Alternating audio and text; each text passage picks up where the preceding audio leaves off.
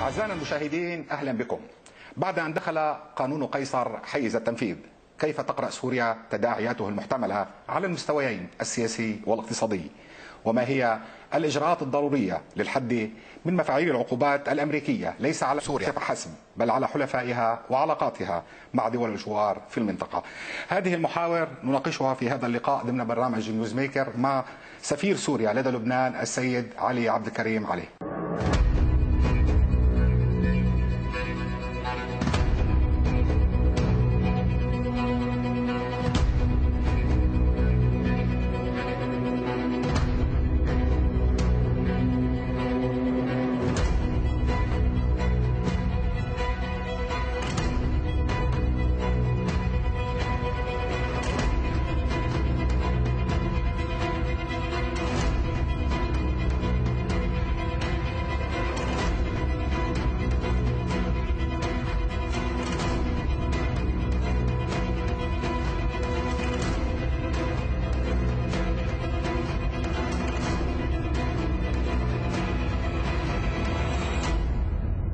سعادة السفير أهلا بكم.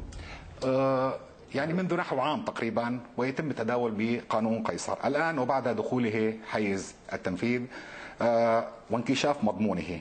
كيف تقرأ سوريا هذا الإجراء الأمريكي؟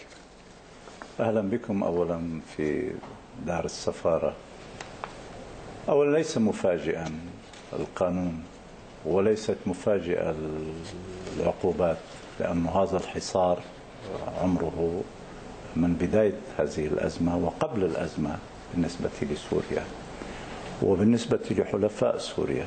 نحن نرى في هذا القانون هو طلقه يائسة يعني آه، فرضتها على الإدارة الأمريكية سقوط الرهان على ضعف سوريا على آه، يأس سوريا على تراجع الرئيس الأسد والقيادة السورية والشعب السوري وحلفاء سوريا في مواجهة إرهاب معولم آه، مدعوم من كل القوى التي تريد حذف دور سوريا إسقاط دور سوريا إضعاف هذا الدور وتيئيس صاحب هذا الدور أي القيادة السورية والشعب السوري. لذلك بتقديري هم القانون صار مضى على يعني على إنشائه ووضعه فترة من 2016 مزبوط إيه، ولكن آه، تفعيل هذا التفعيل أراه هو تعبير عن إحباط وهروب آه، إلى الأمام كمن يلعب آه، يعني آه، لعبة البوكر. يعني أنا بتقديري إمكانية أن يحول هذا الحصار هذا القانون الجائر جدا المخالف للشرعية المخالف للدساتير أحادي الجانب.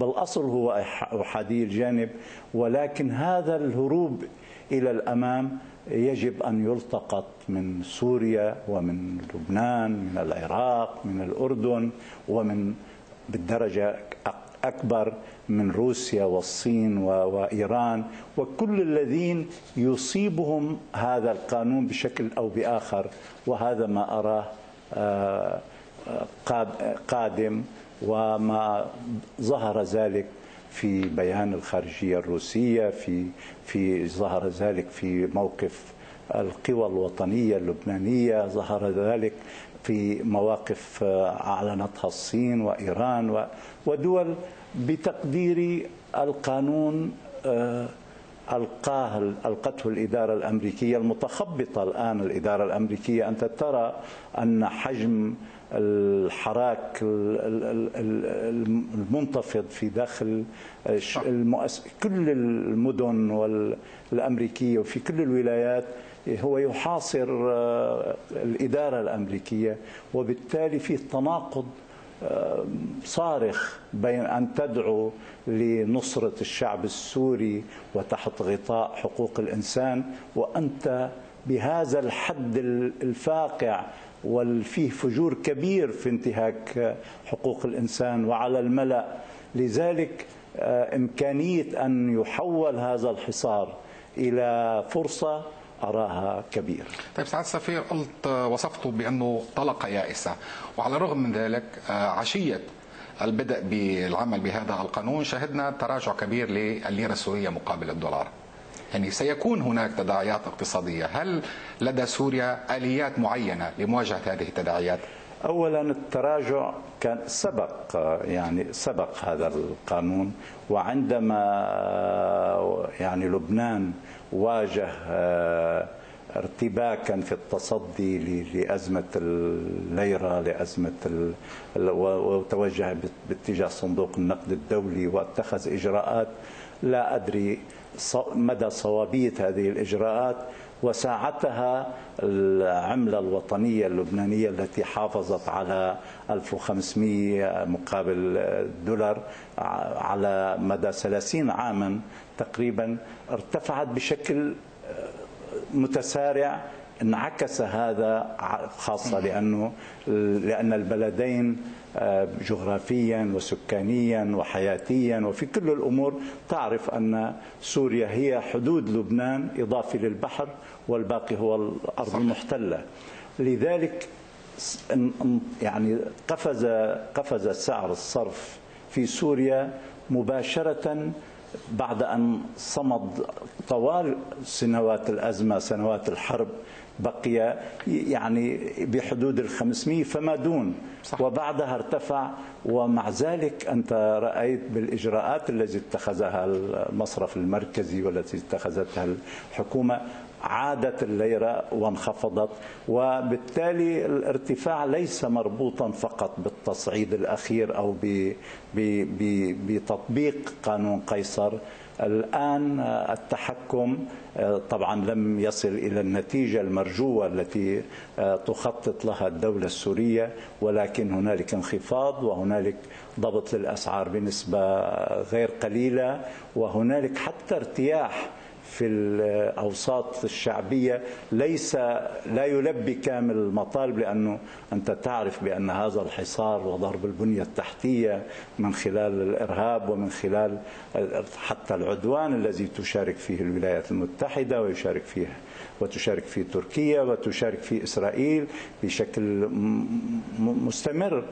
كل هذا ساهم في في في ضرب بنية للاقتصاد وبنية للمجتمع ككل ولكن هنالك صمود كبير وهنالك إصرار على الاستمرار في هذا الصمود ولذلك السيطرة على صرف الليرة السورية وعلى أسعار المواد التموينية في في في الداخل أراه مضبوطا بنسبة طبعا لا أقول مرضية لأنه ما يزال العمل آه، مستمر لهذا لذلك أرى أنه بالعكس هنالك آه، تدرج في في في الضبط وفي وفي هنالك انخفاض متدرج لسعر الصرف وأرى أن هنالك تفاؤل غير قليل بإمكانية السيطرة بهذا المجال. لن تكون هذه المرحلة القادمة أصعب لا سيما أنه العقوبات تطال المصرف المركزي السوري. لبنان حاليا كما قلت أيضا هناك أزمة فيما يتعلق بسعر صرف الدولار وهناك إيداعات لبنانية في المصرف المركزي وهناك إيداعات سورية في المصارف اللبنانية.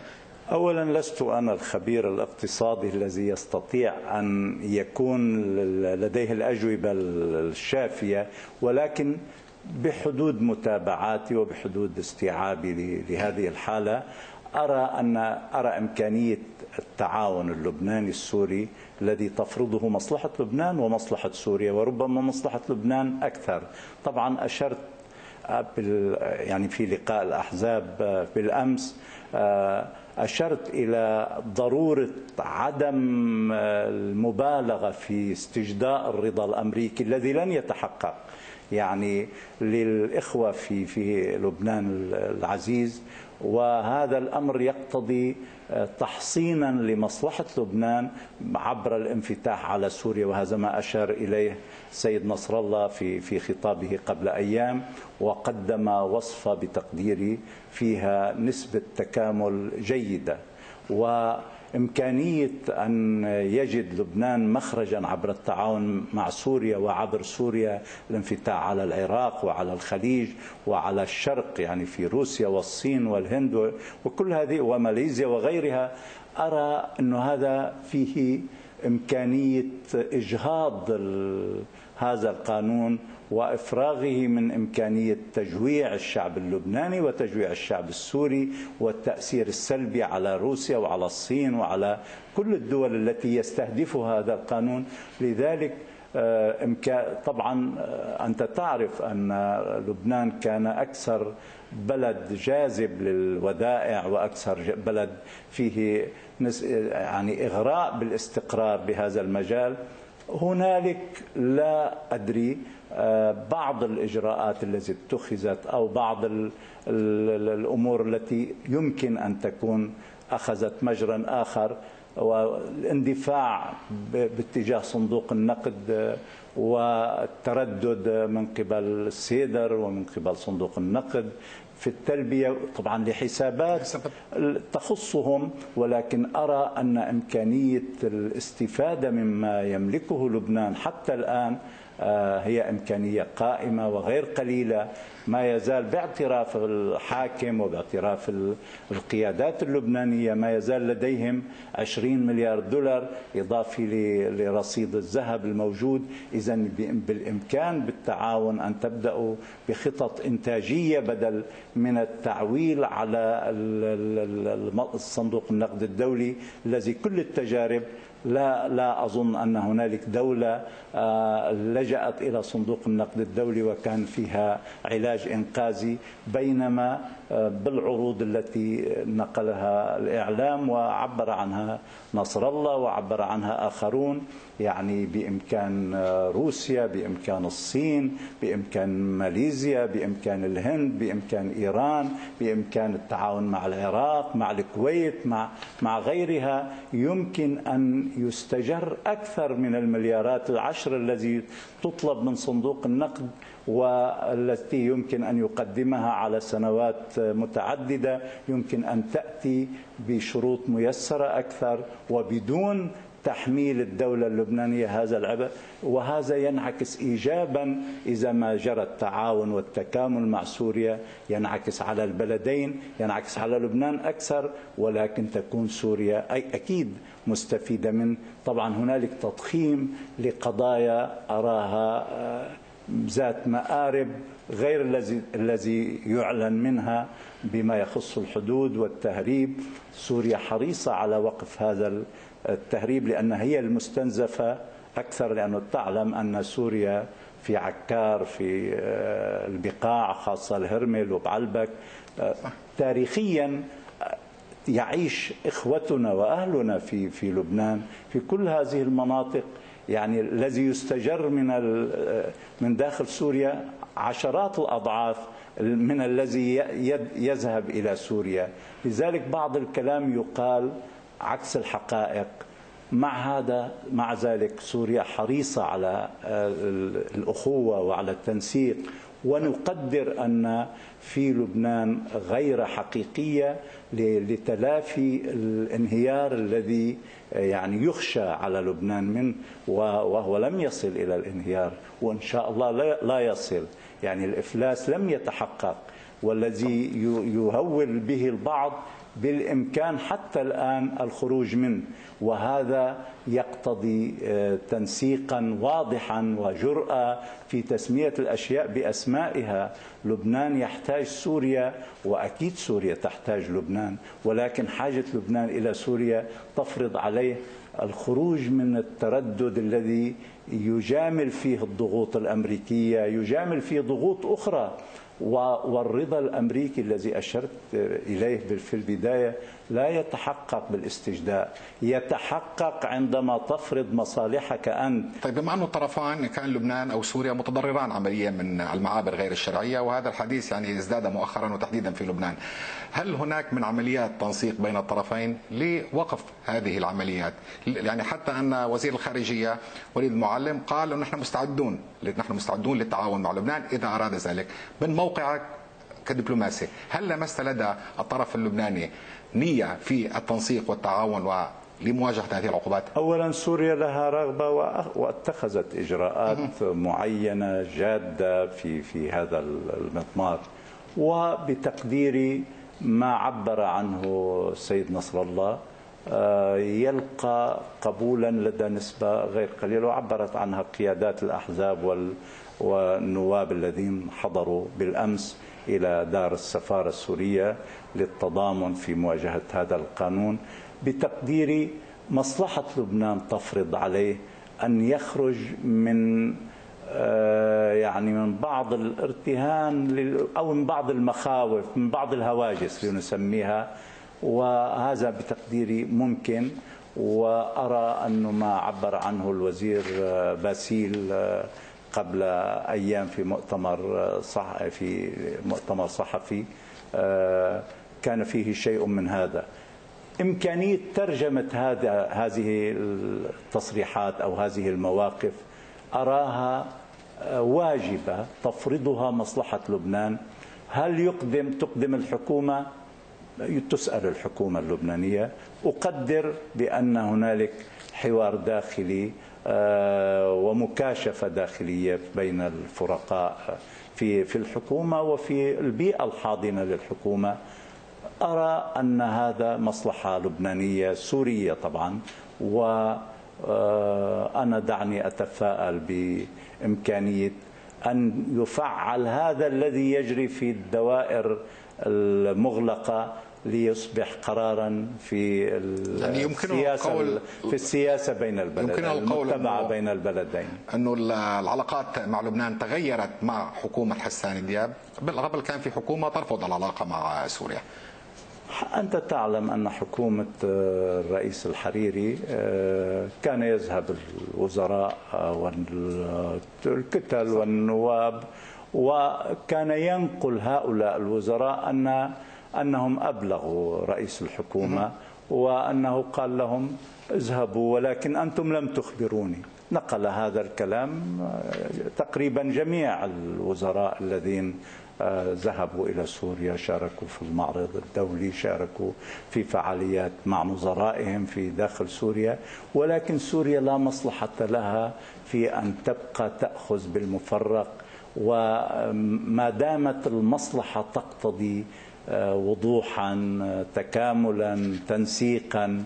وتقدر القيادة في سوريا بأن بإمكان لبنان الخروج من هذا التردد الذي لا مصلحة لحكومته ولا لدول لكل الأشقاء في لبنان في هذا الارتهان للتردد الذي تراعى فيه لا أرى أنها تراعى فيه المصالح اللبنانية. طبعا البعض الأشقاء في هذا البلد العزيز يرفعون الصوت بكلام أراه يعني لا يستند إلى حقائق ولكن يعني الخناق الذي يشتد على المصارف يشتد على المواطن اللبناني الودائع الذي يعني غير المبرر أن تفقد يعني حضور يعني تفقد القدرة على إيصال الحق لأصحابه.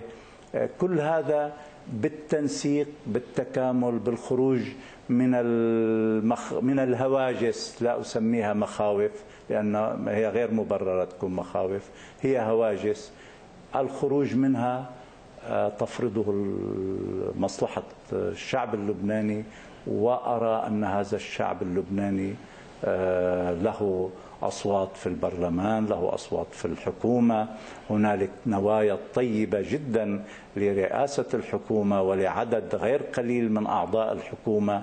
فبالتالي آه، أنا لست لست يائسا لا أقول لست ولست متشائما ولكن لست متفائلا بالنسبة الكافية ولكن نسبة قائمة بأن إمكانية الخروج من هذا التردد إمكانية متاحة وأراها مرشحة لأن تكبر. طيب سعادة السفير ما يميز يميز هذا القانون عن العقوبات السابقة هو أنه مفتوح ولا يطال فقط رجال الأعمال السوريين أو السياسيين السوريين إنما أي شخص أجنبي وفق ما يقول القانون حتى لاحظنا أن المبعوث الأمريكي إلى سوريا حذر الإمارات العربية المتحدة من تطبيع العلاقات مع سوريا من الناحية السياسية هل يمكن أن تتشكل جبهة من حلفاء سوريا وأصدقاء سوريا لمواجهة هذا القانون في المحافل الدولية؟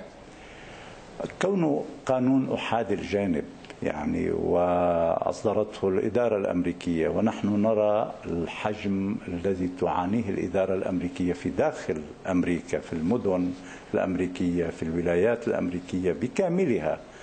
فبالتالي إمكانية فرض هذا القانون أراها متراجعة.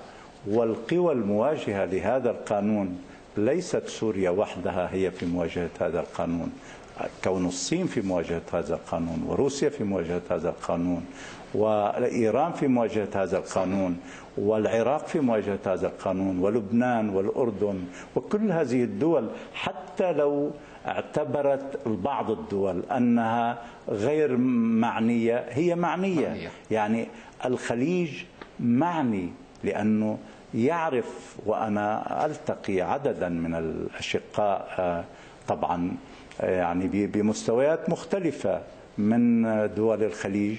يعني الكل يعني يحرص على عدم الجهر أمام الإعلام ولكن الكل آه، يعني يرى بأن ما يحدث آه، العقوبات القرارات السياسات الأمريكية آه، يرون مخاوف تطال الجميع هواجس الخليجيين حتى الذين كل تاريخهم وهم في تنسيق وفي تحالف وفي علاقات مع الإدارات الأمريكية المتعاقبة ولكن هذا الشعور بالارتباك وبالتالي بالقلق على مصيرهم على أموالهم على على استقرارهم هذا يتنامى ولا أستثني يعني لذلك أنا أرى أن هذا القانون إذا ما أحسن التعاطي معه وهذا سيحدث أراه سيحدث لأنه يعني الخارجية الروسية لم يعني. يعني عندما يقرأ بيان الخارجية الروسية فيه عدم اعتراف بالقانون ككل وبالتالي رفض يعني وعدم التعاطي لأنه هذه العقوبات ليست قدرا. بالعكس يمكن أن تعاقب أنت صاحب هذا القانون. يعني صحيح الدولار الأمريكي والتعاطي الصيني بهذا الاستثمار الهائل للصين في في أمريكا والمديونية الكبيرة على أمريكا من قبل الصين يعني تأخذه بالاعتبار ولكن بالمحصلة صحيح تتأذى دولة عظمى مثل الصين وصاعدة بهذا الحجم في الاقتصاد ولكن تؤذي بربما أكثر من من التأذي الذي يصيبها وهذا يجب أن يؤخذ بالاعتبار والأمر ذاته يسري على الدولة تملك كل هذه المقدرات آه، كقوة عسكرية وكقوة اقتصادية أيضا روسيا والهند. وإن كان كتحالفات الآن الهند لها آه، موقع مختلف. آه، ولكن أيضا هي دولة كبرى ولديها رأس مال يعني ينمو باضطراد ماليزيا وغيرها وغيرها وإيران يجب أن لا نخرجها من الحساب وإضافة إلى دول المنطقة كلها أراها بالإمكان لأنها تخشى إذا ما استسلمت للقانون أن تضعف أن تدفع ضريبة باهظة جدا بينما إذا رفضت القانون يمكن أن تحاصر من أصدر هذا القانون ويعيد النظر هو وهذا مألوف في لدى الإدارات الأمريكية فضلا عن هذه الإدارة أن عندما تخسر في رهان تعود عنه ولا تتردد ولا تخجل من من يعني من نسيان ما كانت قالته قبل أيام في يوم لاحق. طيب آه، سعادة السفير أيضا قبل دخول هذا القانون آه، حيز التنفيذ آه، المندوبة الأمريكية في الأمم المتحدة وضعت الرئيس الأسد بين خيارين أو إيجاد تسوية للنزاع أو تحمل العقوبات. هل يمكن أن نجد أو أن تتخذ القيادة السورية قرارا بمفاوضة الأمريكيين؟ متى اولا الإدارات الأمريكية اتخذت قرارا غير هذا يعني التهديدات بالنسبة لسوريا ليست اليوم التي يعني اقله نتفاوض نشوف شو بدنا. لا هذا الكلام قالته اداره أوباما وقالته إدارة بوش الإبن وق... يعني كل الإدارات قالته وسوريا أنت تعرف أن عندما احتلت يعني عندما جاءت الجيوش إلى العراق آه، وحضر كولومباول بال 2003 يعني وحمل معه الإملاءات التي صح. آه، سمع الرد المباشر من الرئيس الأسد يعني بما يخص المنظمات الفلسطينية بما يخص العلاقة بالمقاومة الفلسطينية واللبنانية بما يخص العلاقة بإيران بكل الأمور. وبالتالي ليست يعني ليس جديدا على سوريا ما تقوله المندوبة الأمريكية وما يقوله الرئيس الأمريكي وما يقوله وزير خارجية أمريكا. وهنالك حتى آراء ليست الإدارة, الإدارة الأمريكية والقيادات الأمريكية ليست صوتا واحدا. وأنت تعرف كونك صحيح. تتابع.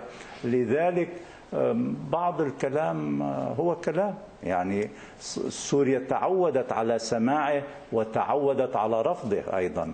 لذلك يعني نحن لم نق يعني لم نصمت كل هذه السنوات في مواجهة كل هذه الدول التي تجاوزت آه، يعني التسعين والمئة دولة. وتحضر كل إرهابيي العالم من كل الجنسيات ومن كل من كل الأصناف واستخدمت كل أنواع السلاح كل أنواع الإعلام كل أنواع الاستخبارات.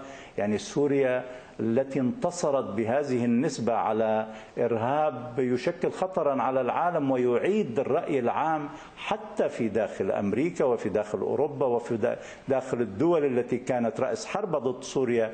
نراهم يعيدون النظر. لذلك هذا الذي تحقق لا يمكن يعني تجاهل كل هذه النتائج والاستسلام لهذا التهديد الذي أراه هو تعبير عن يأس كون سوريا لم لم تسقط لأن سوريا بقيت متماسكة جيشها بقي متماسكا الحاضنة الشعبية حول الرئيس الأسد كبرت. صحيح هنالك خطر التجويع المواطنين السوريين وخاصة بعد سنوات أكثر من تسع سنوات من من الصمود الهائل.